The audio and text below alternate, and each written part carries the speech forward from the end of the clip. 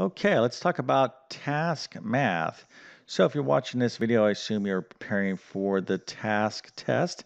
And essentially the TASC is an alternative to taking the GED and it's offered in those states that um, uh, obviously offer the TASC. There's another test out there called the HiSET. So you have the GED, the HiSET, and the TASC. The TASC and the HiSET are offered in uh, specific states, but sometimes uh, those states that use the TASC, I know, uh, I believe New York is one of them. Sometimes they do give you the choice to take the GED, or I'm not sure actually if uh, New York uh, only offers the TASC. But either way, uh, the TASC, the HiSET, and the GED are effectively pretty much the same. They're going to be testing you on high school level mathematics in terms of um, algebra and geometry. So you're going to have to really know your stuff in order to pass these tests. So we're obviously going to be focusing in on the TASC. And but just by virtue you um, checking this video out, you're clearly taking, um, you know, your uh, studies, you know, preparing for the TASC seriously as you should, because you don't want to underestimate um, the math or the cha- uh, how challenging the TASC is. Okay, uh, these tests, uh, unlike you know, the TASC again, the HiSET are pretty new relative to, to the GED exam. The GED has been around for like 70 years or so, maybe even longer. But um, back way back in the day, you know, the GED, if you took the GED, people may not, they, kind of like, oh, they didn't give it as much respect, whether that was right or wrong. But if you can get, you pass uh, the TASC, the HiSET, or the GED these days, you're truly, you know, uh, th- those are respectable achievements because you can, um, and not to say that passing the GED years ago wasn't uh, respectable either. It's just that the standards have changed. Really, uh, I kind of like to think of them as being more kind of college prep. Okay, so you're not uh, going to just kind of women sit down and pass the TASC without, at least the math section, without really, you know, doing some. Um, uh, review and study. So that's what we're going to do in this uh, particular problem. We're just going to take a look at a real, real basic uh, fractions problem. Uh, and if you're fully prepared for the TASC, this thing should be super easy. Okay, but you'd be surprised.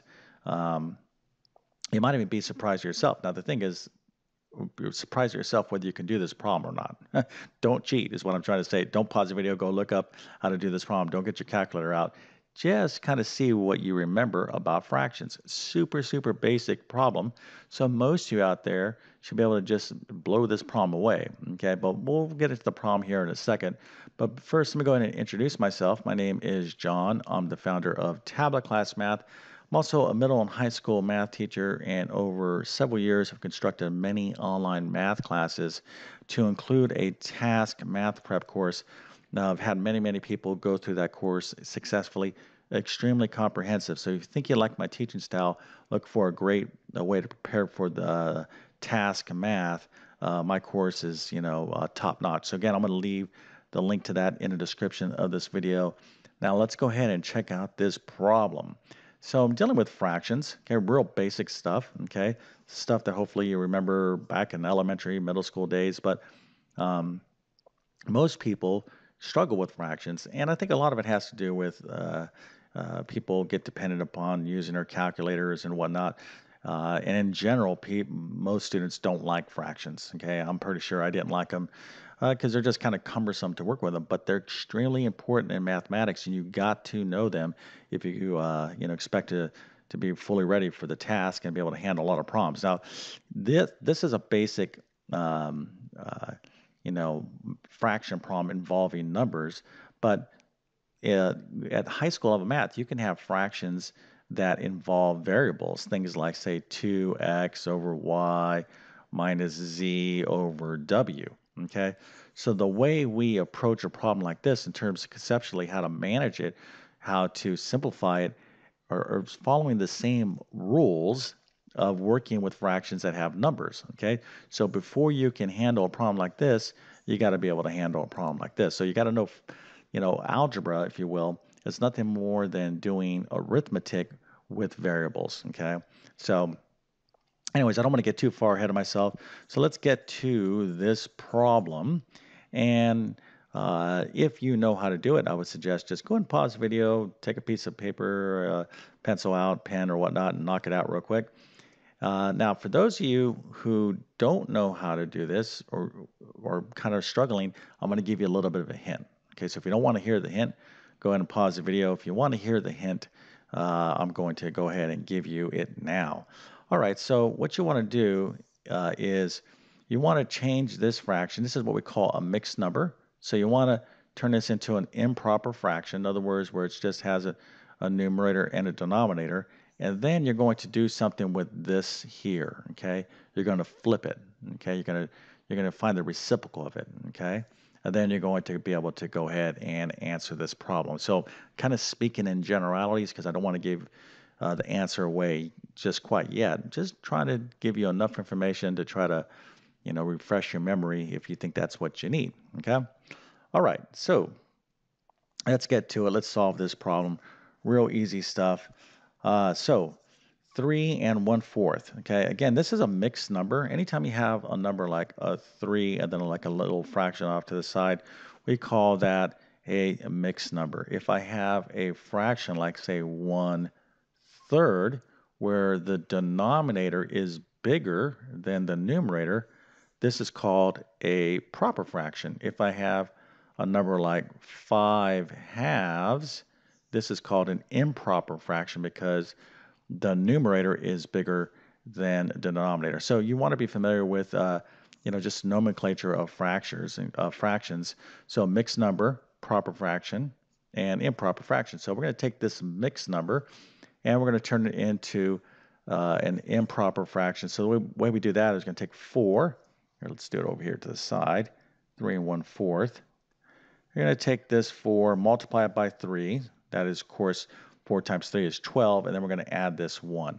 Okay, so this would be 13 over 4. So that's just one basic fraction skill that you need to be able to do is how to take a, a mixed number and write it as an improper fraction. So that's how you that's how you do it. I'm sure all of you out there remember uh, the basics of this.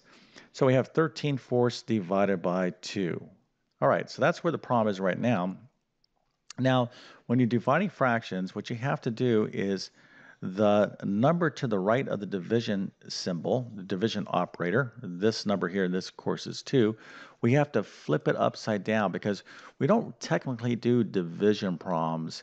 Um, well, of course we have, we're doing a division problem here, but the way we're going to actually calculate this is we're going to take a division problem and we're going to turn it into a multiplication problem. And the way we do that is by uh, doing this step that I'm describing to you now. So you you locate you here the the division operator. You take this number to the right of the division operator. In this case, it's two, and you're going to flip it.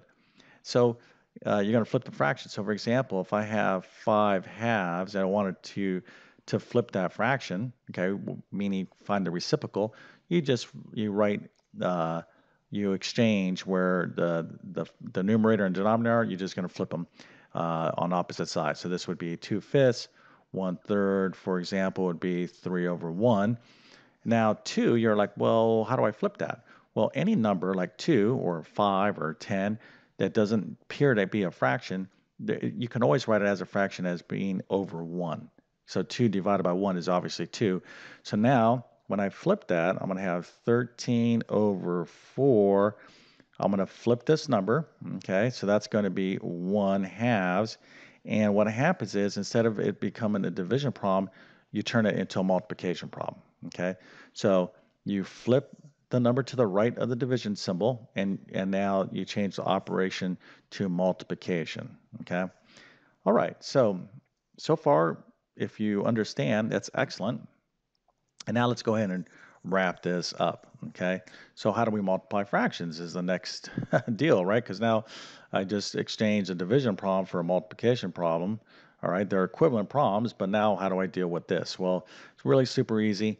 Here, when we're multiplying fractions, we just multiply the numerators, that's these top numbers, and we're going to multiply the denominators. So our answer is going to be 13 times 1, of course, is 13, and then 4 times 2 is 8.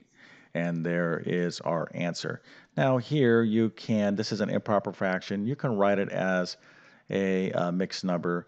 Um, I would suggest do not do that. Okay, you're less you're asked to or your answers, you know, what you're looking for, are all written as mixed numbers. Um, and one thing you need to do for sure is always reduce and simplify your final fractions. Okay.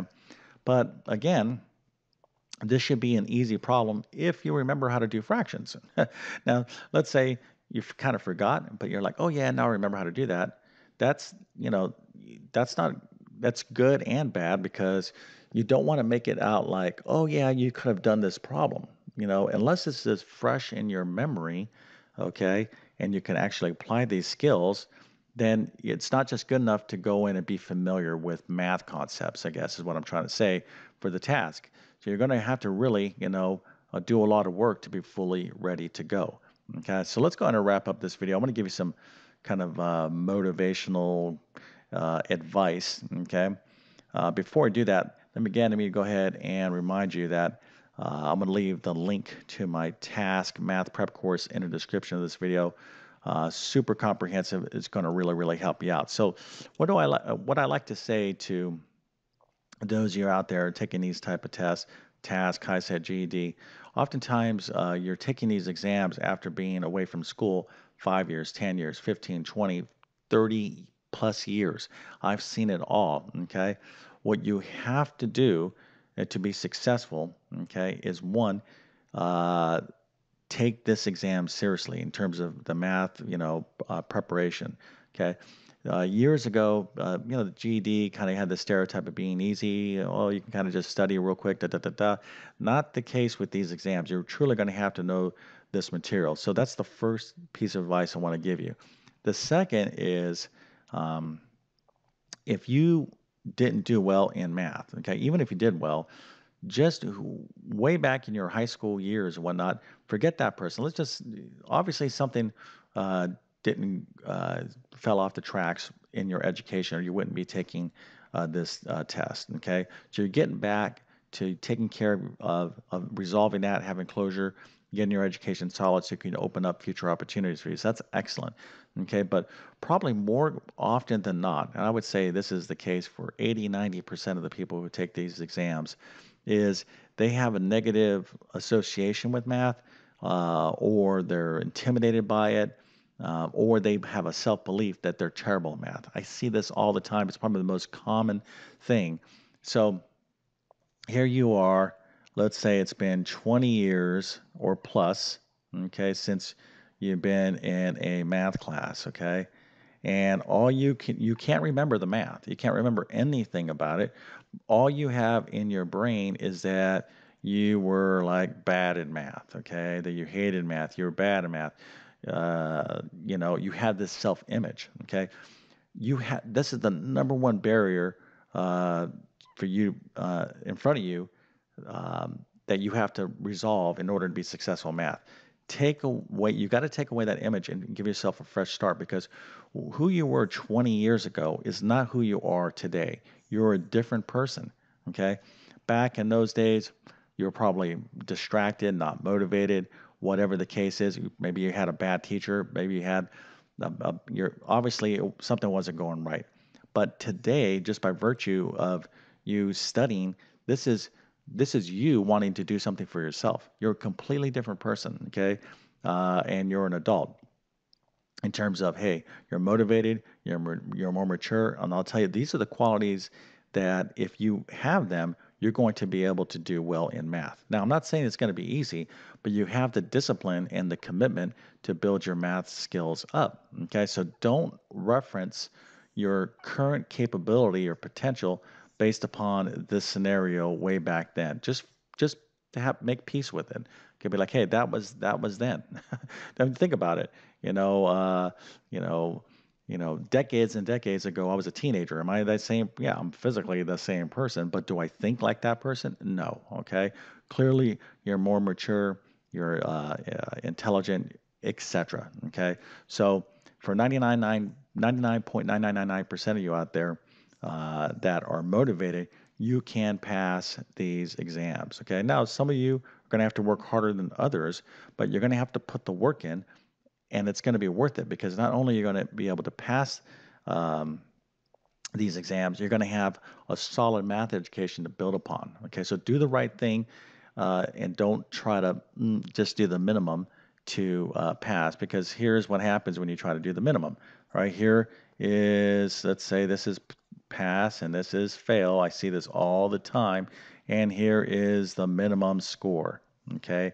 So what a lot of people do, they're like uh, in a rush and they're like, I gotta quickly get my TASC. I gotta get my high school uh, equivalency, you know, da da da da. So I'm just gonna just barely kind of like I'm gonna do, and it's human nature. I understand it, but I'm just gonna do uh, what I need just to get over that that passing line, that finish line to pass. Okay, so that's kind of their mindset. That's the strategy. Here's what happens, like 90% of the time or more, to to those individuals that have this. I'm going to do the bare minimum. You know where they they they score right here.